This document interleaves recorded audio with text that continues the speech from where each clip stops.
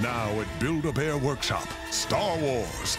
Make your dark side versus light side bear. One bear, two sides. You choose. Only at Build-A-Bear Workshop. Furry Friends outfits and accessories each sold separately while supplies last.